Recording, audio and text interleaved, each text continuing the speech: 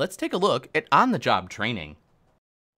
On-the-job training, known as OTJ, is done at the worksite with the resources the employee uses to perform the job.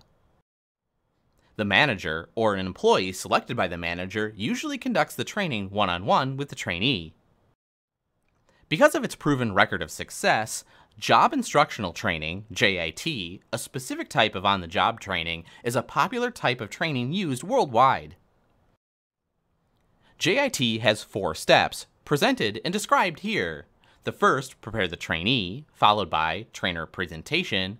Then, the trainee performs the task with follow-up. Let's take a look. Step 1. Preparation of the trainee. Put the trainee at ease as you create interest in the job and encourage questions. Explain the objectives and quality and quantity of requirements and discuss their importance.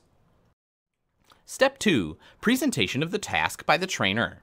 Perform the task slowly, explaining each step several times.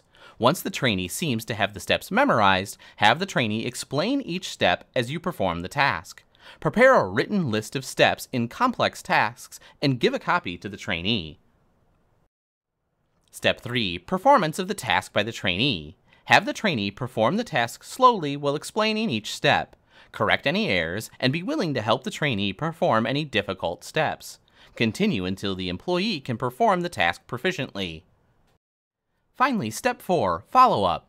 Tell the trainee who's available to provide help with any questions or problems. Gradually give the trainee more autonomy. Begin by checking on quality and quantity frequently, then decrease the amount of checking based on the trainee's skill level. Watch the trainee perform the task and be sure to correct any errors or faulty work procedures before they become habits. Be patient and encouraging.